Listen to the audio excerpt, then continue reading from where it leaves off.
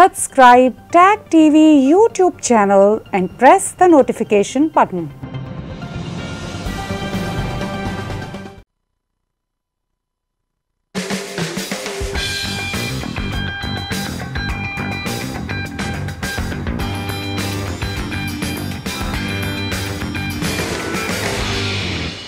Welcome viewers मैं हूँ अनीस फारूकी और प्रोग्राम प्राइम टाइम की एक और एपिसोड लेकर आए हैं, जिसमें आज हम बहुत सारे टॉपिक आपके साथ डिस्कस करेंगे और काफ़ी दिन हो गए थे कि हमारी ऐसी गुफ्तु नहीं हुई थी जो आप हमेशा सुनना चाहते हैं। बहुत सारे कमेंट्स में आपने हमें कहा कि वही गुफ्तु वही हल्के फुल्के मिजाज के साथ लेकर हम दोबारा आएँ लेकिन संजीदा मौजूद साथ साथ चलेंगे और हमारे साथ गुफ्तु में शामिल हाल रहेंगे हमारे अपने स्टूडियो से मौजूद हैं ज्वाइन कर रहे हैं टैग स्टूडियो से ताहिर असलम गोरा साहब उनको वेलकम करते हैं। और ताहिर साहब कैसे हैं? बहुत दिन हो गए आपसे वन एन वन जो है वो टाकरा नहीं होता जी जी जी बहुत दिन हुए और मेरा ख्याल है वो वक्त अब करीब आ रहा है। कोविड नाइन्टीन की बंदिशें उम्मीद है कि कम हो जाएँगी पूरी दुनिया में और हमारे यहाँ भी। तो आपने वो एक फ़ज़ा दोबारा से बना दी है। जी बिल्कुल बिल्कुल। और बहुत से दोस्त हमारे आप देख रहे होंगे कमेंट जब देते हैं एक तो सबसे पहले तो उनका बहुत बहुत शुक्रिया। कि हज़ारों और अब लाखों की तादाद में लोगों ने हमें देखना देख रहे हैं और कमेंट दे रहे हैं, राय देते हैं और अच्छी बुरी हर तरह की राय देते हैं और बाज़ अवत हमें यहाँ तक वो इन्फॉर्मेशन देते हैं कि इस दफ़ा ऑडियो में क्या कमी थी या लाइट में क्या कमी थी या किस तरह के कपड़े पहनने चाहिए थे। तो उन सब का बहुत बहुत शुक्रिया क्योंकि आप लोगों की इन्हीं, इसी फीडबैक को देख कर ही प्रोग्राम को बेहतर बनाया जाता है। और साथ साथ हमें टॉपिक्स की वो हिंट भी देते हैं कि आप इस मौजू पर क्यों नहीं बात करते? या इस मेहमान को क्यों नहीं लेकर आते? तो हम अपने तमाम दोस्तों की फरमाइश को जहन में रखते हैं, उसको आगे लेके चलेंगे और जिन मेहमानों का आपने कहा है, उनको भी हम लेकर आएँगे और उन मेहमानों ने भी हामी भर ली है। आने वाले दिनों में आप उनको देखेंगे। तारिस साहब हिंदुस्तान और पाकिस्तान और चाइना और अमेरिका और कोविड 19 दुनिया भर में बहुत सारी करंट अफेयर्स, एक्टिविटीज़ और इवेंट्स हो रहे हैं। इस पर हम बात करते हैं जो इस वक्त जो हॉटेस्ट टॉपिक है वो लाइन ऑफ़ एक्चुअल कंट्रोल की बात हो रही है, जहाँ पे चाइना की अफवाज और हिंदुस्तान की अफवाज आमने सामने आ गई थी एक मौके पर। बहुत से लोगों को इसका तारीखी पस मंज़र नहीं मालूम तो हम वो बताते चलें कि ये एक रूटीन है वहाँ पर। और एक तरह का गैर मुसल्ला जिसे कहते हैं कि अन आर्म्ड पेट्रोलिंग वहाँ होती है। छोटी मोटी हाथापाई भी होती है, झड़पें भी होती हैं, लेकिन वो कोई सीरियस, मेरे मेरे नज़दीक ये है कि वो कोई सीरियस तारीख में आज तक ऐसा वाक़ नहीं हुआ। एक छोटी सी कंट्रोवर्सी क्रिएट हुई, इसको आपने देखा और इसके बारे में आप क्या बताएँगे हमारे व्यूअर्स? देखिए बात यह है कि इस बार कंट्रोवर्सी जो है वो थोड़ी सी बड़ी थी हाथापाई से बात आगे जाती नज़र आई। मगर वो मुझे अंदाज़ा था कि वो बहुत आगे नहीं जाएगी। आपको याद होगा कि अभी चंद साल पहले ही डोकलाम में स्टैंड ऑफ़ हुआ था दोनों आर्मीज़ का और वो काफ़ी दिन तक रहा और वो फाइनली रिजॉल्व हुआ। आज पर्टिकुलरली जो एम्बेसडर हैं चाइनीज़ एम्बेसडर टू इंडिया आज उन्होंने अभी चंद घंटे पहले बड़ा वाज तौर पर कहा कि चाइना और इंडिया को एक साथ जाना है। इनके आपस में हर तरह के अच्छे मरासम रहने हैं और थोड़े बहुत जो कॉन्फ्लिक्ट्स हैं उनको भी हमने रिजॉल्व करना है धीरे धीरे ये चाइनीज़ एम्बेसडर टू इंडिया का कहना है। अ, कल जो अमेरिकन जो टॉप डिप्लोमेट हैं साउथ एशिया के डेस्क की अ, वेल्स ने उन्होंने चाइना के लिए एक सख्त लैंग्वेज यूज़ की थी। उन्होंने कहा था कि चाइना का ये जो एक्सपेंशनिज़म का जो भी कोई इरादा है वो आगे नहीं बढ़ना चाहिए। लेकिन बहरहाल आज अमेरिकन ने भी इस पर कह दिया कि उम्मीद है कि किसी किस्म की कोई ऐसी हरकत नहीं होगी। तो मेरा नहीं ख्याल कि ये कोई बहुत सीरियस है। आपने बिल्कुल दुरुस्त कहा कि ये एक रूटीन की सिचुएशन है जो लद्दाख और गिलगत बल्तिस्तान के उस वो हिम- हिमालयन कॉरिडोर में है जी। जो होती जी. रहती है। ऑफ़ कोर्स बिल्कुल इश्यूज़ हैं कॉन्फ्लिक्ट्स भी छोटे छोटे हैं लेकिन भारत और चाइना का आपस में ट्रेड इतना है रिलेशनशिप भी इस कदर हैं। मुझे नहीं लगता कि ये कोई बहुत ही सीरियस सूरत की तरफ़ जाएगी। अच्छा उसमें एक बात और भी है कि जैसे बहुत सारे दोस्त जो पाकिस्तान में हमारे जर्नलिस्ट हैं, वो तो इस बात को समझते हैं। लेकिन एक जो ट्रोल फैक्ट्री है, नंबर वन और पीटीआई की जो जिसे कहते हैं गैर संजीदा हल्के जो कि हर चीज़ को बेगानी शादी में कूदने के लिए तैयार रहते हैं, उन्होंने इसको बहुत एक्सप्लॉइट किया। और ये कहा कि ये जो है, अब हम चीन ने जो है हिंदुस्तान को वहाँ पे बहुत बुरी तरह से एक तरह का टफ़ टाइम दिया है और ये दिया है।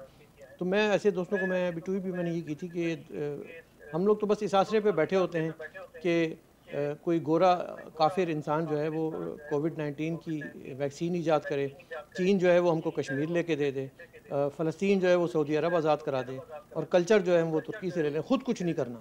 लेकिन उसके बाद स्टेटमेंट और बयानबाजी में हम कूद पड़ते हैं इवन कि प्राइम मिनिस्टर तक के लेवल पे वो बयानबाजी आ जाती है इस मामले को लेकर।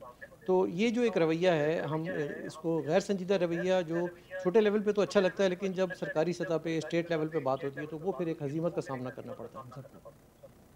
देखिए आपने खुद ही ज़िक्र किया कि वज़ी अजम तक इस मामले में कूद पड़ते हैं। मैं ये कहूँगा कि वज़ी अजम तक इस मामले में नहीं कूदते पहले वज़ी अजम ही कूदते हैं इस मामले में। जी। ये जो, फिर अभी आपने बात की कि हमारी जो ट्रोल आर्मी बैठी हुई है, वो सबसे बड़े जो ट्रोल हैं बदकिस्मती से, वो पाकिस्तान के प्राइम मिनिस्टर खुद हैं। हर तीसरे रोज़, हर दूसरे रोज़ वो कोई ना कोई हिंदुत्वा का बयान दे रहे होते हैं। उसके बाद जो अजीम शान ट्रोल हैं पाकिस्तान के पास, वो पाकिस्तान के फॉरेन मिनिस्टर हैं शाह महमूद कुरैशी। अभी उन्होंने कोई दो रोज़ पहले एक ट्वीट दिया कि ये जो द्रवेदियंस आइडियोलॉजी है, फिर उन्हें किसी ने एहसास दिलाया कि द्रवेदियंस और हिंदुत्वा में फ़र्क है क्योंकि हिस्ट्री विस्ट्री का तो पता ही नहीं है। ना इमरान खान को पता है ना फॉरेन मिनिस्टर पीर साहब हैं उनको अपनी पीरी मुरीदी से उनकी जान छूटे और वो कभी अमेरिका की वो मुरीदी करना की कोशिश में होते हैं कभी सऊदी अरब की मुरीदी करने की कोशिश में होते हैं कभी वो चाइना की गोद में बैठने की कोशिश में होते हैं तो बस इससे ज़्यादा पीरी मुरीदी उनकी होती नहीं है कोई। तो वो फिर ये नहीं सोचते कि ना हिस्ट्री का पता है उन्हें ना उन्हें आइडियोलॉजीज़ का पता होता है ना पॉलिटिक्स का पता है ना इंटरनेशनल अफेयर्स का पता है मगर बीच में बोलना ज़रूर है। तो यही रवैया जो है इमरान खान से लेके शाह महमूद कुरैशी और फिर नीचे तक आते हुए पीटीआई के ये जो बेचारे ढोल बजाने वाले लोग हैं उनका है। तो अभी आप देख लीजिए पिछले हफ़्ते ही इनको वो जो एक मिडल ईस्टर्न वर्चुअल कॉन्फ्रेंस थी यूएई कतर सऊदी अरब और दूसरे कंट्रीज़ थे उसमें मुस्लिम मालिक के ओ आई सी के तो कितनी वहाँ पे हजीमत उठाना पड़ी? मगर वो अनिसा मैंने आपके शो में कई बार ये कहा कि एक पंजाबी का एक एक्सप्रेशन है कि बंदा टीट होना चाहिए इज़्ज़त आनी जानी चाहिए तो तो वो ये motto Imran Khan prime minister Pakistan ने फॉरेन मिनिस्टर ने इवन वो पहले आर्मी के एक होते थे एक जोकर होते थे जो आईएसपीआर के स्पोक्स पर्सन गफूर गालबन उनका नाम है। वो, अच्छा ये ये वो हरकतें करते रहते हैं। फिर वो all along the line from Fawad Chaudhry to all that's माजे साजे जो है ना वो सारे के सारे माजे साजे गामे न लगे होते हैं। बात तो वही ना गौरव साहब कि जब एक क्रिकेटर मुल्क का वज़ीर आज़म होगा एक लॉ ग्रेजुएट वज़ीर साइंस होगा और एक अनपढ़ आदमी वज़ीर रेलवे होगा तो फिर वो जो टीम बनेगी वो इसी तरह की फिर आप स्टेटमेंट को उनसे उम्मीद रख सकते हैं इससे ज़्यादा की क्या उम्मीद रखेंगे? हाँ देखिए मैं आपको कहूँ कि यकीन कीजिए ये डिग्रियों का मामला भी नहीं है ये माइंड सेट का मामला है। जी। माइंड सेट इतना पॉल्यूटेड है पहले जो हुकूमतें होती थी, चाहे वो पीपल्स पार्टी की हुकूमत होती थी, चाहे वो नवाज़ शरीफ की हुकूमत होती थी, वो इस तरह की बचकाना हरकतें नहीं किया करते थे कि हर रोज़ वो इंडिया के बारे में ट्रोल कर रहे हैं, प्राइम मिनिस्टर के ट्विटर अकाउंट्स, मिनिस्टर्स के ट्विटर अकाउंट इससे अगर तो कोई फ़ायदा हो सकता हो ना पाकिस्तान को या पीटीआई को या इनकी इस्टेब्लिशमेंट को तो चले हम बात समझ लें। इससे फ़ायदा तो टकेगा नहीं है। उल्टा दुनिया में एक मज़ाक इनका बन रहा है मीडिया में इनका मज़ाक बन रहा है। मगर ये ऐसे आ, मतलब लोग हैं कि फिर वही पंजाबी का एक्सप्रेशन कि इज़्ज़त आनी जानी शायद बंदा ढीठ होना चाहिए ये इस कदर ढीठ हो चुके हुए हैं कि इनको अपने मज़ाक से भी कोई सरोकार नहीं। लेकिन मुझे दुख ही होता है कि हम उसी ओरिजिन के लोग हैं आप और मैं अनीसम तो उससे पाकिस्तान एक जोक बना दिया है इन्होंने। बिल्कुल एक मज़ाक बना दिया पूरी दुनिया के लिए। और शर्म आती है कि यार ये क्या कर रहे हैं? इनको कोई मेचोरिटी कोई अक्ल कोई सेंस है लेकिन लगता है कि बिल्कुल कोई सेंस कोई मेचोरिटी कोई अक्ल नहीं है वही बात है ना कि कुछ जॉब्स के लिए कुछ ना कुछ क्वालिफिकेशन होती है कुछ ना कुछ रेज्यूमे चाहिए होता है कुछ बैकग्राउंड दरकार होता है कुछ जॉब एक्सपीरियंस होता है। जब कुछ भी नहीं है तो फिर आ, इसी तरह की मामला चलेंगे जहाँ पे एक आपकी कौमी एयरलाइन को एक इंटर पास एयर मार्शल जो है, उसको हेड करेगा, जिसका कोई एविएशन एवियोनिक्स का कोई तजर्बा ना हो, जिसका मैनेजमेंट और बिज़नेस मैनेजमेंट का कोई तजर्बा ना हो, जिसने सिर्फ़ सरहदों पे बंदूक चलाना सीखी हो। अब वो एयरलाइन चला रहा होगा तो फिर उसमें एयरलाइन जो है वो गिरेंगी, गिरना शुरू होंगी और वहाँ पे उनकी सही टाइम पे मरम्मत नहीं होगी। जब वो पुर्जे ऑर्डर किए जाएँगे तो वो पुर्जे वक्त पे उनको फराम नहीं किए जाएँगे क्योंकि वो सारा का सारा बजट कहीं और डाइवर्ट कर दिया जाता है। एयर मार्शल अरशद मलिक इस वक्त पी को हेड कर रहे हैं। पी का आपने देखा कि सौ अफराद के करीब जो है वहाँ पर जानों से गए अपने। आज भी हॉस्पिटल में ऐसी सोख्ता लाशें पड़ी हुई हैं कि जिनकी पहचान इसलिए नहीं हो पा रही कि डीएनए की फैसिलिटीज़ वहाँ मौजूद नहीं है। लोगों, एक साहब हैं जिनकी, जिन्होंने अपनी बीवी को अपने कंगनों से तो पहचान लिया, लेकिन वो आज भी अपनी बेटी और अपने बेटे, छोटी बारह साल बेटी की लाश को तलाश कर रहे हैं। वो आज भी अपने ब्लॉग के उनको ये नौबत आ गई है कि वो रोती हुई हालत में वीडियो लॉग बना के इमरान खान से अपीलें कर रहे हैं कि इसके, इसको, इसमें उनकी मदद की जाए आवाम की मदद की जाए। लेकिन हो क्या रहा है कि इस, इसका, इसकी जब एविएशन लॉज के मुताबिक तहकीक़ात की बात आई इन्वेस्टिगेशन की बात आई तो उसका वॉइस रिकॉर्डर गायब कर दिया गया। पहली मरतबा ऐसा हुआ है कि दुनिया के किसी तैयारे हादसे में ब्लैक बॉक्स नहीं मिला हो या वॉइस रिकॉर्डर नहीं मिला हो। और उसकी वजह सिर्फ़ सिर्फ़ ये है कि पूरी की पूरी इस वक्त रियासत जो है वो एक एयर मार्शल को बचाने के चक्कर में, शर्मनाक बात है, बहुत अफसोस से कह रहा हूँ, एक एयर मार्शल को बचाने के चक्कर में सौ जानों का नजराना पेश कर रही है। साथ साथ हम ये भी देखते हैं कि इस तैयारे को दबाने के लिए, एक ईद से एक दिन पहले ये वाक़ होता है और इस तैयारे के हादसे को, इस दुख को, इस गम को दबाने के लिए टेलीविज़न की एंकर्स को ये हुक्म दिया गया कि ईद पर पहले से ज़्यादा तैयार होकर आने। और हमने देखा कि चार से पाँच टी वी होस्ट इस तरह के लिबास और एंकर्स, मर्द हजरात लिबास पहन के आए कि शायद वो अपनी शादी में भी उन्होंने वो लिबास ना पहने होंगे वो माहौल क्रिएट किया गया, वो रंग नूर की महफिलें सजाई गई, वो रक्स व सरूद की महफिलें दिखाई गई कि लोग भूल गए उस गम को, लेकिन हम इसको भूलने थोड़ी देंगे। इसको याद रखा जाएगा और आज भी पाकिस्तान के तमाम जर्नलिस्ट, दुनिया भर के तमाम सहाफ़ी और तमाम मीडिया इस वक्त मुतालबा कर रहा है कि इसकी फौरी तहकीक़ात शुरू की जाएँ और इस बात का तयन किया जाए कि तैयारे को बैली लैंडिंग के ज़रिए क्यों नहीं उतारा गया, जो कि एक इंटरनेशनल तरीक़ाकार है? वो एयरपोर्ट के, कराची के, जिना एयरपोर्ट के लैंडिंग पे पहुँच कर उसको वहाँ से फिर उड़ा दिया गया और फिर उसको आबादी की तरफ़ भेज के गिरवा दिया गया। ये एक बहुत बड़ा सवालिया निशान है। इस पर क्या कहेंगे आप? देखिए, बात यह है कि बदकिस्मती से पूरे का पूरा जो कल्चर है पाकिस्तान में वो डेविएशन और डिस्ट्रैक्शन पका है।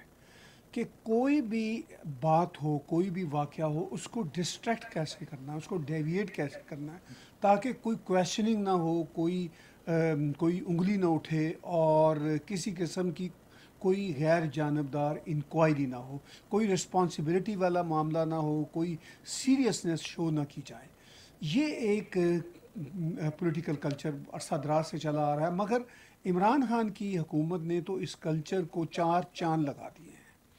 वो तो गैर ज़िम्मेदारी नॉन प्रोफेशनलिज्म और इसके साथ साथ जो एक अनसीरियसनेस एटीट्यूड है उसको अपनी इंतहाओं तक ले गए हैं। जी। और उनके पार्टी के जो जज्बाती कारकुन हैं वो इस रवैये के बायर्स भी हैं वो इस रवैये को आगे लेकर चलते भी हैं। तो बहरहाल इससे नुकसान उनको नहीं समझ आता कि पाकिस्तान के इदारों को पाकिस्तान की गरीब आवाम को पाकिस्तान के की इवन इस्टेब्लिशमेंट को और ख़ुद इनके अपने हुकूमती स्ट्रक्चर को हो रहा है। लेकिन चूँकि गैर ज़िम्मेदारी और नॉन सीरियसनेस इस हद तक है कि इस बात का भी एहसास ये लोग नहीं करते। हर चीज़ को एक जोक बनाया हुआ है। हर मामले को एक इन्होंने तमाशा बनाया हुआ है। और उसकी आड़ में डिस्ट्रैक्शन डेविएशन की आड़ में ह्यूमन राइट्स की वायलेशंस भी हो रही है पैसा भी ज़ाया हो रहा है और हर तरह की जो नाअहली है, वो मेरा नहीं ख्याल कि इस लेवल पे पहले कभी पाकिस्तान ने या पाकिस्तानी अवाम ने देखी होगी। जिस तरह की नलायकी, नाअहली इमरान खान और उसकी हुकूमत इस वक्त मुरतकब हो रही है। उसकी वजह ये भी है ना कि जब हम देखते हैं कि पाकिस्तान के तीस से ज़्यादा कौमी इदारे जो हैं, उनको हेड इस वक्त हाजिर सर्विस या रिटायर्ड सर्विस ब्रिगेडियर और जनरल के सतह के लोग कर रहे हैं। अब ज़ाहिर है कि उनका जो एक एकेडमी का एजुकेशन है और एक एक्सपीरियंस है, वो वो नहीं होता जो कि कंज्यूमर गुड्स सर्विसेज़ और इस तरह की कस्टमर रिलेटेड सर्विसेज़ में होना चाहिए। तो उसका नतीजा क्या होता है कि उनको नवाज़ तो दिया जाता है इस इस का इनाम के तौर पे कि उन्होंने इमरान खान को मुंतखब करवाया सेलेक्ट करवाया। लेकिन उसके बाद वो इदारे एक के बाद एक करके फ़ेल होते हुए दिखाई देते हैं। रेलवे की मिसाल ले लें पी की मिसाल ले लें, वापडा की मिसाल ले लें हाइड्रो की मिसाल ले लें, पानी के जो जितने भी प्रोजेक्ट्स हैं उनकी मिसाल ले लें।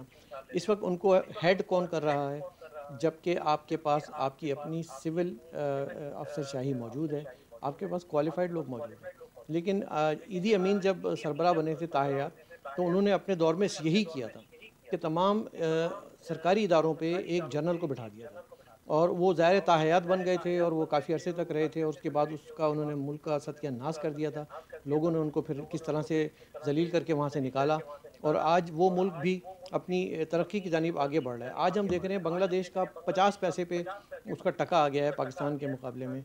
वो मुल्क जो कि हमने उन्नीस सौ इकहत्तर में खोया था। जनरल न्याजी ने जब वो दस्तखत किए थे सपूत ढाका के वक्त उसी के सपूत ख़ानदान के सपूत आज इमरान खान तमाम पोस्टों पर जनरलों को बिठा रहे हैं और इसका फिर एक मरतबा पाकिस्तान उस तबाही के दहाने की तरफ़ जा रहा है। जहाँ पे बलूचिस्तान में आप देख रहे हैं कि एक, एक तरह की बेचैनी पाई जाती है। फाटा में आप देख रहे हैं कि एक रेजिस्टेंस है। सिंध में जो है वो लहर उठ रही है और कोई ऐसा शोबा बचा नहीं है कि जहाँ पे परेशानी ना हो लोग आपस में सवाल ना कर रहे हों और फिर एक मजामत सामने ना आ रही हो। और ये उसी तरफ़ जा रही है जहाँ पे आप देखते हैं कि अनारकी फैलती है दुनिया में, उन ममालिक में, जो कि थर्ड वर्ल्ड कंट्रीज़ एक ज़माने में अफ्रीका में हुआ करते थे। तो अगर हम इसी रविश रविश पे चलते रहे तो फिर एक दिन ऐसा आएगा कि हम यही सोचते रहेंगे कि पाकिस्तान इस्लाम का किला है इस्लाम ख़तरे में है, हिंदुस्तान हमारा दुश्मन है और फ़ौज जो है वो हमारी मुहाफ़ है और पाकिस्तान इस्लाम का जो है उम्मा का लीडर है और खलीफा जो है वो इमरान खान है। ये वो मंजन है, वो चूरन है जो अयूब खान बेचते चले आ रहे थे, फातमा जिना के इलेक्शन से लेकर और आज तक हम वो देखते आ रहे हैं। चाहे वो परवेज़ मुशरफ हों, जनरल ज़ियाउल हक हों, उन्होंने कहा था कि हम एक इस्लामी रियासत बनाएँगे, पाकिस्तान को सही मानों में इस्लाम का किला बनाएँगे। वो, वही मंजन हमने ज़ियाउल हक से सुना, वही मुशरफ से सुना, वही जनरल बाजवा आज हमें चूरन बेच रहे हैं। और आज जब हम देखते हैं, ईद के दिन जो पैगाम आता है कि कश्मीर हम फतह करेंगे कौन सा कश्मीर फतह करेंगे? मुझे आज तक ये समझ में नहीं आया क्योंकि आर्टिकल 370 के एब्रोगेशन के बाद कश्मीर तो चला गया। अब पी ओ के की बात हो रही है। पी ओ के में जो है वो जो सोजिश है जो गिलगित बल्तिस्तान में है अब तो उनकी बातें हो रही हैं। आप तो आ, कश्मीर की बात कर रहे हैं तो चला गया। तो ये ये जो हिस्टोरिकल मैंने आपको पूरी चेन बताई है इस चेन से आपको महसूस नहीं होता कि पाकिस्तान के अवाम के जहन में भी सवाल उभरते होंगे तारीख़ हमने भी पढ़ी है।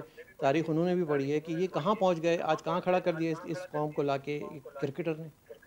खेल खेल में। देखिए देखिए बात ये है कि जिस चूरन की आपने बात की अब तो वो चूरन भी बिकता नज़र नहीं आ रहा। ये दुरुस्त है कि ये चूरन अरसा दराज से बेच रहे हैं और इसी मंजन से आज तक ये अपने जो है ना दान चमका रहे थे। लेकिन अब वो दांतों की चमक भी गई। वो चूरन जो है उसकी हकीकत भी खुल चुकी है। अभी ईद के मौका पर ही पाकिस्तान के chief the army staff Qamar Javed Bajwa Eid मनाने के लिए कश्मीर गए थे लाइन ऑफ़ कंट्रोल के पास, जो, जिसको मैं सबका लाइन ऑफ़ कंट्रोल कहता हूँ।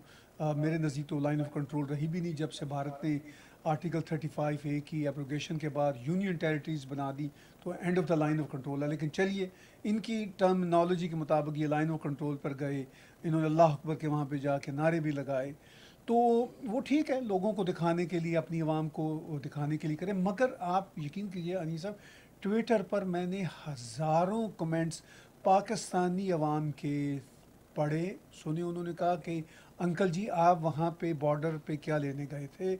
आप इधर अपने घर के मसाइल तो ठीक करें। फिर उन्होंने अंकल जी बाजवा जी ने वहाँ पे कोई ऐसी बात भी की थी कि ये जो भारत की इकानमी है वो अब अब तबाह हो चुकी है। तो लोगों ने कहा कि आपकी इकानमी क्या आसमान पे पहुँच गई है? लोगों ने यहाँ तक लिखा कि क्या आप अमेरिका से आगे निकल गए हैं? अंकल जी आपका जो आर्मी का इदारा है वो पाकिस्तान खा गया। अच्छा ये बात कोई इंडियन ट्रोल्स नहीं कर रहे थे। वो सारी की सारी उर्दू में लिखी हुई थी और वो उर्दू थी जो मतलब पाकिस्तानी स्टाइल की उर्दू है जो बिल्कुल गली मोहल्लों के स्टाइल की होती ना उर्दू।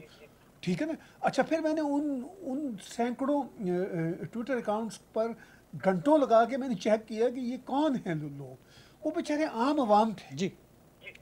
तो मतलब ये जो चूरन है जिसकी आप बात कर रहे हैं जिससे दिल बहला रहे थे अपना भी और पूरी कौम का वो चूरन भी अब जो है ना उसका जो उसकी तासीर ना ख़त्म हो चुकी हुई है। बिल्कुल और और इस बात का अंदाज़ा इनको भी है कि ये अब चूरन बेचूरन हो चुका है। लेकिन बस वो चूँकि उनके पास कुछ और बेचने को है नहीं तो जैसा भी अब चूरन उसमें से बरकत खैर और हर चीज़ निकल चुकी है और उसमें चूरन की तासीर ही नहीं रही है तक लेकिन फिर भी बेचने को कुछ नहीं है तो क्या बेचें? वो फिर इसी को बेचेंगे और बेचते चले जा रहे हैं। नहीं दूसरी बात ये भी है ना कि वो ये, ये जो जिसकी बात उन्होंने की थी वो स्टेटमेंट मुझे याद है। उन्होंने कहा कि हिंदुस्तान की इकोनॉमी इस वक्त एट द वर्ज ऑफ़ जिसे कहना चाहिए कि तबाही के दहाने पे पहुँच गई है। लेकिन उन्हें शायद याद नहीं कि इस वक्त हिंदुस्तान अभी भी एन नाइन्टी फाइव मास्क सबसे ज़्यादा बना रहा है वेंटिलेटर बना रहा है अपने मुल्क में, और साथ साथ उसके रिज़र्व में भी तकरीबन 400 अरब रुपया पड़ा हुआ है। बात कर रहे हैं 400 अरब डॉलर से ज़्यादा उनके रिज़र्व में पड़ा हुआ है। पाकिस्तान के पास शायद 10 से 12 बिलियन डॉलर है। अच्छा फिर कहते हैं हम छोटा मुल्क हैं। अब अगर आप छोटा मुल्क भी हैं तो वन फिफ्थ या वन सिक्स तो है ना। जी। तो आपके पास भी कोई सौ बिलियन डॉलर तो होना चाहिए था ना। लेकिन आप वो कशकोल लेके फिर रहे हैं कुछ तो खौफ खुदा करें। नहीं करते। कुछ तो शर्म करें। पाकिस्तानी अवाम के पर खुदा का यानी खुदा की मेहरबानी का बायस बने सच्चाई को कबूल करें। और देख देखिए जहाँ से अनीस भाई आपने बातचीत शुरू की थी मैं उसके साथ जोड़ूँगा। अब ये है कि चाइना में थोड़ा सा स्टैंड ऑफ़ हुआ। अब ये नारे लगा रहे हैं। थोड़ी सी नेपाल के साथ भारत में एक दो वो हीट एक्सचेंज हुआ। अब ये नारे लगा रहे हैं।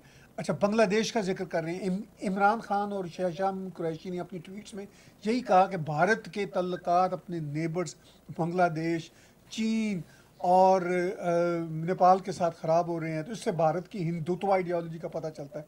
यार, हिंदुत्व आइडियोलॉजी को अगर है भी तो चीन को उससे क्या लेना देना? पहले बात चीन से अपने मुसलमानों की तो करें ना जिसमें चीन ने आपके मिलियंस मुसलमानों को कंसंट्रेशन कैंप में रखा हुआ। शर्म आती नहीं आपको पाकिस्तान के प्राइम मिनिस्टर को ज़रा भी गैरत नहीं है। जब इससे को पूछ रहा है तो कहता है मुझे पता ही नहीं चीन में मुसलमानों का क्या हाल है। ज़रा चीन से वो बात करो ना। अब चीन को हिंदुस्तान के साथ हिंदुत्व पे तो कोई इशू नहीं होगा ना। अब ये बर्मा का ठेका भी लेते हैं। बर्मा में वो यानी म्यांमार जो कंट्री का नया नाम है उसमें जो सबसे बड़ी पुष्टपनाही हासिल है उस मुल्क को, वो चीन की है। अच्छा इनको शर्म नहीं आती कि आप चीन से उस मसले पे बात करें। अच्छा बांग्लादेश की बात करते हैं तो मेरी हँसी छूट जाती है कि बांग्लादेश से ये क्या बात करेंगे? क्या ये बांग्लादेश को इंस्टिगेट कर सकते हैं पाकिस्तानी?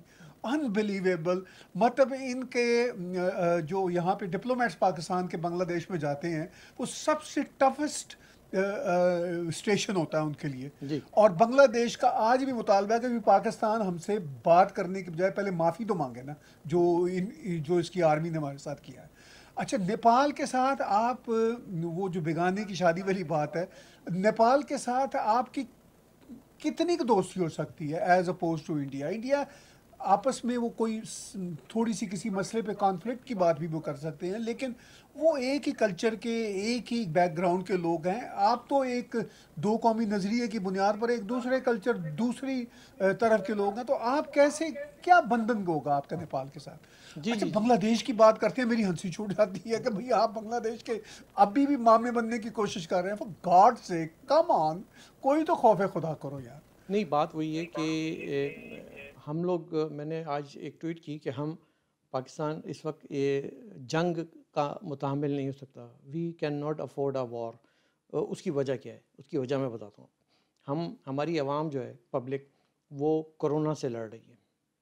और हमारी जो फ़ौज है, वो बयानबाजी और ट्विटर पे लड़ रही है। हमारी जो जो हमारा जो प्राइम मिनिस्टर है, वो नथिया गली में पिकनिक मना रहा है। और हमारी जो आईएसआई है वो औरतों के जो आपसी झगड़े हैं चीटिंग के और इसके, उसके वो सुलझा रही है और उसमें वो इन्वॉल्व हो रही है। आपने देखा होगा बड़ी मज़ाहिया सी बात कि मलिक रियाज की साहबजादी अपने शौहर के किसी के साथ अफेयर्स को लेकर उन्होंने किसी के घर में औरतों के घर में कूद के और वहाँ जाके तोड़ फोड़ की। वो ठीक है, वो उनका अपना मसला है। ज़ाहिर एक औरत जब बिफड़ती है अपने शौहर की खातिर तो वो कुछ भी हद क्रॉस कर जाती है और हमने देखा वो। लेकिन वहाँ जाके जो उनका एक तारीख़ी जुमला है, वो जुमला पूरे पाकिस्तान की समरी बताता है कि इन औरतों ने ऐसा किया मेरे शोहर के साथ, आईएसआई के चीफ को, हेड को बुलाओ, इनको चुकवा लिया जाए। So I think that says everything in it कि आईएसआई हमारी मसरूफ़ है, औरतों के झगड़े सेटल करवाने isn't it a shame for the national security agency of Pakistan नहीं बिलाशुबा जी मतलब जितने नॉन इश्यूज़ हैं वो इन्होंने इश्यूज़ बनाए हुए हैं। जी। ठीक है? और जितने इश्यूज़ हैं उनका पता ही नहीं है। मतलब जो हम अनीस भाई बातचीत कर रहे हैं इस सारे मसले का या तमाम मसाइल का हल ये है कि पाकिस्तान की इस्टेब्लिशमेंट पाकिस्तान की ये जो जोकर गवर्नमेंट है इस वक्त की ये फॉर गॉड सेक पाकिस्तान की आवाम के हाल पे रहम खाते हुए अपने इस जो नॉन सीरियस और जोकर पने को बंद करे। भारत के साथ हमारा क्या लेना देना चलिए चलिए भारत के साथ आपकी राइवलरी है। अगर राइवलरी भी है तो भी आप कोई राइवलरी वाला काम करें ना, जो, ये जो मतलब गली मोहल्ले की लैंग्वेज होती है। और प्राइम मिनिस्टर तक ट्रोल की हद पे जा रहे हैं। इससे क्या आप भारत की राइवलरी को न्यूट्रलाइज कर लेंगे? जी। कोई सीरियस काम करें इंटरनेशनल सीरियस काम नहीं करते ना। कर... सीरियस काम नहीं करते मैं आपको यही तो बता रहा हूँ सीरियस काम नहीं करते हैं। मैं आज का प्रोग्राम हल्के फुल्के मोड में रखना चाह रहा हूँ मैं ज़्यादा संजीदा नहीं चाह रहा लेकिन अफसोस है कि हम संजीदा हो जाते हैं। कि अभी फादर्स डे आने वाला है तो मेरे बच्चों ने पूछा आपको क्या चाहिए? मैंने कहा यार मुझे वो अमेजोन से वो एक ड्रोन है दो तीन सौ डॉलर का वो दिला दो। तो उन्होंने कहा, ठीक है, मैंने उनको दो तीन पिक्चरें भेज दी, उन्होंने भेज दी। आज मैंने देखा कि वही ड्रोन हमारी जो है, वो डी जी आई ने मार गिराया, हिंदुस्तान का जासूस तैयारा। सो आई थिंक वो खिलौने मार मार के आप बिलियंस ऑफ़ डॉलर हमारे टैक्स में से ले रहे हो। तो हम इतने बेवकूफ़ तो नहीं है ना कि हमें समझना है कि आप क्या खेल क्या खेल रहे हो? आपने हर थोड़े दिनों के बाद एक ड्रोन खिलौना मार के, वो भी कश्मीर के उस साइड के बच्चे उड़ा रहे होंगे, वो फोटोग्राफी वगैरह करने के लिए आजकल बड़े लोग उड़ाते हैं। तो उस पर भी मतलब आप ट्वीट कर दिया कि जी डी जी पर पाकिस्तान की एक बड़ी कामयाबी कि हमने एक ड्रोन मार गिराया जासूस तैयारा यार इंडिया के पास क्या आप समझते हो कि ये दो तीन सौ डॉलर वाला जासूस तैयारा ही? बचा था ड्रोन। आप सोचिए ज़रा वो पहले एक भारत में जसूस कबूतर पकड़ा गया था। जी। मेरा ख्याल है इन, इन्होंने उसके जवाब में वो जसूस ड्रोन को मार गिराया तो चलिए उस मज़ाक को हम मज़ाक की हद तक भी ले सकते हैं और उसमें हो सकता है कोई एक सीरियस भी पहलू हो मगर जो मैं उस बात को दोबारा कंटिन्यू करूँगा कि जो प्राइम मिनिस्टर जी जो हर दूसरे रोज़ ट्वीट दे रहे होते हैं जो आपका फॉरेन मिनिस्टर ट्वीट देता रहता है और जो आईएसपीआर हरकतें करते हैं हर पहले तो आईएसपीआर एक मकम्मल तौर पर एक कॉमेडी बना हुआ था। अब ज़रा एटलीस्ट वो फौजी अंदाज का हो गया। उस तरह की कॉमेडी नहीं रहा। लेकिन उससे फ़ायदा क्या हो रहा है? उससे सवाए तजहीक का निशाना बनने के कुछ नहीं हो सकता। आपने कहा कि हम आज लाइट नोट में बातचीत करना चाह रहे हैं और यकीनी तौर पर लाइट नोट में ही कर रहे हैं मगर उन उन ज़मीनी हकाई का क्या करें? उन फैक्ट्स का क्या करें? उन फैक्ट्स पे यकीन कीजिए अगर बात सीरियस भी की जाए तो भी एक एक बहुत बड़ा थिएटर लगता है। जी जी। और अगर उस थिएटर को थिएटर के तौर पर पेश करें तो भी वो थिएटर एक ट्रेजिडी है। मतलब आप किस तरफ़ जाएँ यानी अनबिलीवेबल तो थिएटर थिएटर ही तो सजा दिए अब वो काम क्या रह गया? उनका काम रह गया है कि परवाज जुनून एक मूवी बना दो दो गाने रिलीज़ कर दो एक चौदह अगस्त पे ज़रा सी कोई कामयाबी हो जाए कोरोना आ जाए तो फ़ौरन गाने बन जाते हैं अदाकारों को लाइन अप कर दिया जाता है रूप धार लिया जाता है। रूप धारने में तो महारत रखते हैं ना मतलब ये ड्रामेबाजी और रूप ये बहुत बड़ी एक कामयाबी है इनकी। और आपने देखा होगा कि अभी वो वैली में, कश्मीर में भी वो लश्कर तैयबा को लेकर एक नया रूप से जारी टीआरएफ जिसे हम कहते हैं, एक हैशटैग भी चल रहा है टीआरएफ इज़ फैक्ट फेक आप देख रहे हैं कि ये एक फिर नए नई क्या कहते हैं, वो बोतल में पुरानी शराब लेके आ जाते हैं। हम रूह सफ़र हैं, हमें नामों से ना पहचान, कल और किसी नाम से आ जाएँगे हम लोग। तो ये कितने नाम और कितने रूप बदलेंगे, लेकिन इन दी एंड बैक पे जो है वो मास्टर्स वही हमें दिखाई देते हैं। वही रियाज नाइकू होता है उसके पीछे कोई और हाफिज़ होता है उसके पीछे कुछ और मौलाना होता है और पीछे उनके आखिर में जाके बाजवा साहब निकलते हैं। तो ये ये लोगों को अंदर समझते हैं शायद। वो देखिए लोग तो अंधे नहीं हैं पाकिस्तानी अवाम भी इस हकीकत को काफ़ी हद तक जान चुके हैं वो बेचारे इस बात का इजहार भी करते रहते हैं। जी। लेकिन वही जो जहादी तंजीमों के नाम बदलते रहते हैं अच्छा जहादी तंजीमें भी एक सीरियस काम है। चलिए जी मतलब मैं और आप वो जहादी तंजीमों को बिल्कुल पसंद नहीं करते। लेकिन जो जहादी तंजीमें हैं लोगों की लाइनें जो जो जाने हैं वो वो फ्रंट लाइन पे होती हैं। जो। बेचारे मासूम जिनको वरगला कर लेकर जाते हैं खुद तो हाफिज सईद महास में नहीं खड़े होते ना। उनकी औलादें नहीं तो खड़ी होती हाफिज की तो दूर की बात है। ना उनकी औलाद होती है खड़ी ना हाफिज खुद होता है ना वो मौलाना अजहर मसूद होता है तो ये तो अच्छा। अब ये जैसा भी काम है नेगेटिव काम है लेकिन इसमें भी एक सीरियस एटीट्यूड होना चाहिए। उसमें भी सीरियस एटीट्यूड कोई नहीं है। और यानी वो इतना मज़ाक खेज होता है इतना बड़ा जोक होता है और फिर उस जोक को ये बेचना चाह रहे होते हैं ठीक है किसी ज़माने में बिक गया भाई आपका काम किसी ज़माने में आपने काफ़ी उससे अनरेस्ट कर लिया लेकिन अब नहीं हो रहा अब नहीं हो सकता क्योंकि जैसा आपने चूरन की इनकी बात की थी वो चूरन कोई भी हो वो चूरन नहीं बिका करते एक ही तरह के चूरन साल का साल। अच्छा अब वो इसी पॉइंट ऑफ़ व्यू से वो तंजीमों के नाम बदलते हैं कि जी चलिए जी अब वो अ, क्या नाम है उनका हरकतुल मुजाहिदीन नहीं है या लश्कर तैयबा नहीं है तो दावतुल इरशाद कर दो या फलां कर दो या ढीम कर दो। अ, क्या फ़र्क पड़ता है? नामों से क्या फ़र्क पड़ता है? आपके कामों से ही फ़र्क पड़ेगा और काम भी आपके इतने भोंडे अंदाज में होते हैं कि वो काम पहले होता है एक्सपोज पहले हो चुका होता है। बाद में होता है काम लेकिन एक्सपोज पहले हो चुका होता है। अच्छा ये बड़ी सी बात की आपने कि एक्सपोज पहले हो जाता है। इस पे हाँ जी, हाँ, इस पे मैं आपको एक और हल्के मोड में लाइट मोड में एक और चीज़ बताता हूँ। आप देख रहे होंगे आजकल बूम बूम आफरीदी को बड़ा सरकारी प्रोटोकॉल मिल रहा है। वो हर जगह पहुँच जाते हैं। हर जगह पहुँच जाते हैं। अभी ये प्लेन क्रैश पे भी पहुँच गए थे। उसके अलावा कश्मीर पे भी पहुँच गए थे। उनके साथ पूरे आठ दस फौजी होते हैं। और आठ दस फौजी में चार पाँच फोटोग्राफर होते हैं वो भी वर्दी में होते हैं।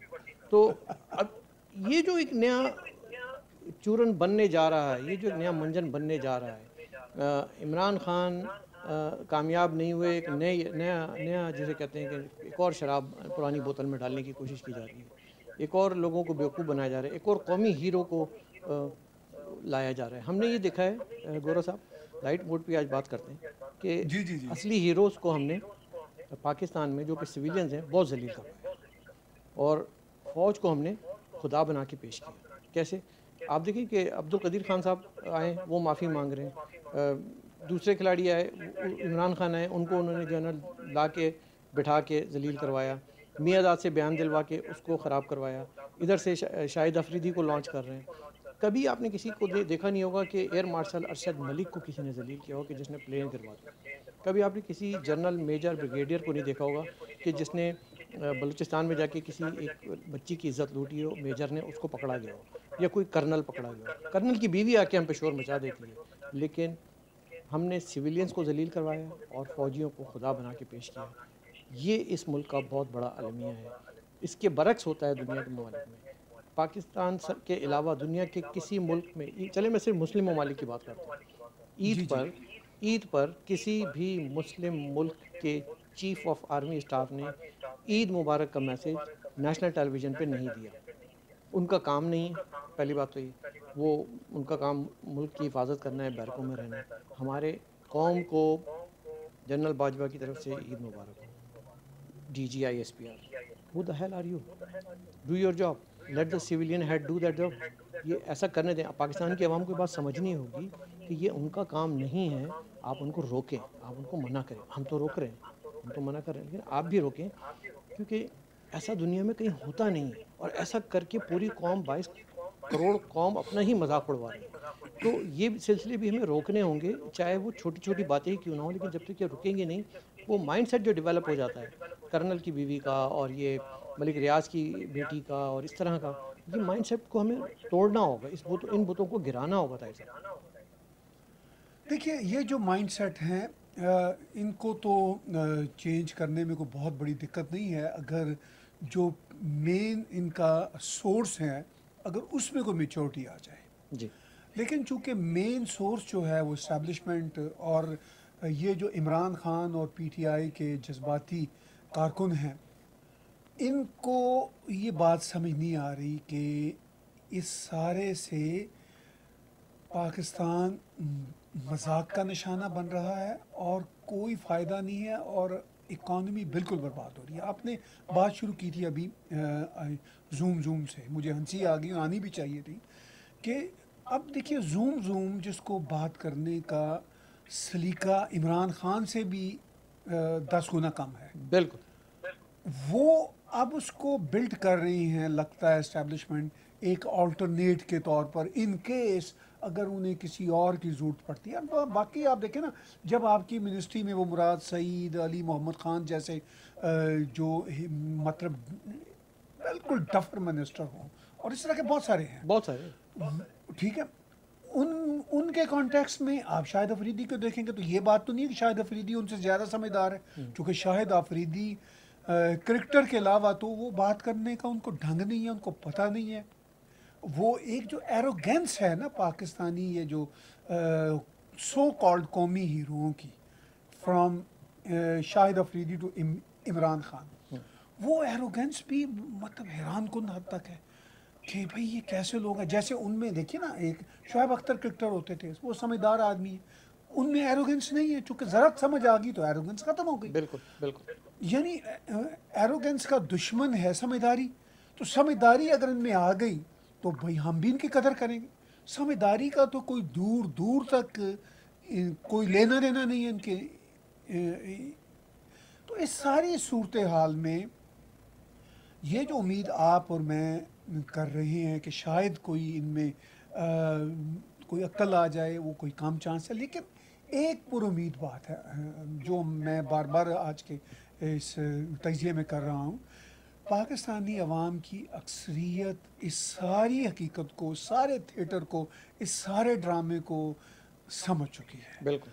अब अब अगर पीटीआई इवन पीटीआई के बहुत सारे पुराने हमदर्द भी तौबा करके इनसे दूर जा चुके हैं। बिल्कुल। अब सिर्फ़ और सिर्फ़ वो जज्बाती कारकुन या वो लोग पीटीआई के जिनके मफादात वाबस्ता हैं और पाकिस्तान इस्टेब्लिशमेंट सारी भी नहीं है मैं आपको ये भी बता दूँ। लेकिन बहरहाल एक हिस्सा जो इस वक्त डायरेक्ट या इनडायरेक्ट कंट्रोल कर रहा है पाकिस्तान को उनके इंटरेस्ट में है कि ये इस तरह के घामड़ जो हैं इमरान खान और शा, और शाहिद अफरीदी जैसे ये उनके साथ बंधे रहें। तो वो इस तरह के घामड़ों को और साथ मिला रहे हैं।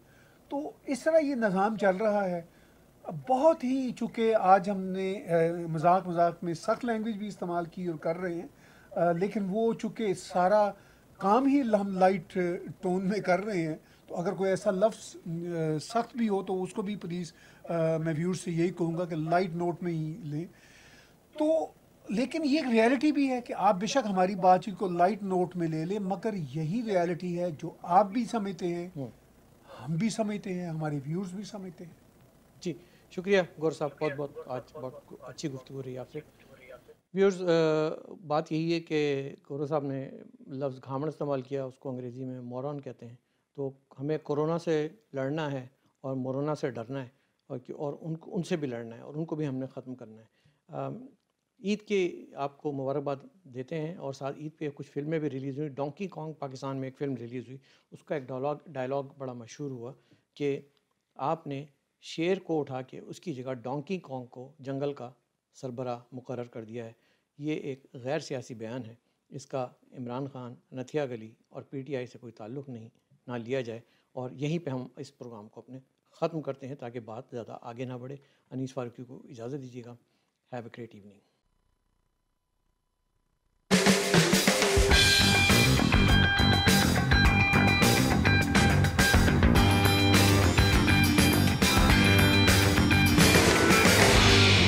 Subscribe Tag TV YouTube channel and press the notification button.